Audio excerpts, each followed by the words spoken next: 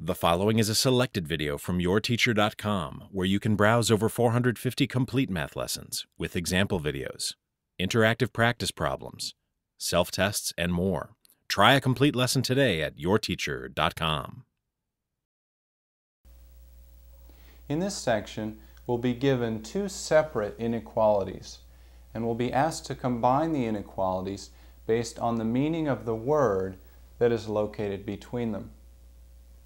So let's start this problem by graphing our two inequalities just above the number line because we're not sure yet how we're going to combine them.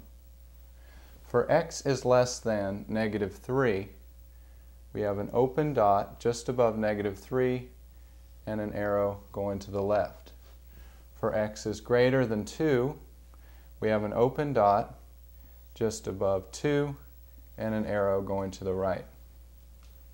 Remember, how we combine these inequalities will be based on the meaning of the word that is located between them, which in this case is OR. OR represents an idea in algebra called union.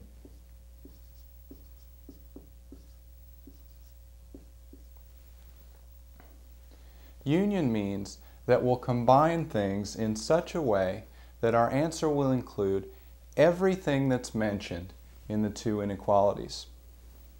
So all we have to do is bring our two graphs down to the number line. So we have x is less than negative 3 and x is greater than 2. In set notation, our answer reads the set of all x's such that x is less than negative 3 or x is greater than 2.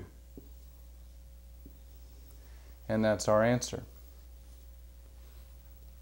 I realize this problem seems simple because the answer is basically the same as the question. But things get more complicated, and the ideas here are very important. OR represents union which means everything that's mentioned in the two inequalities.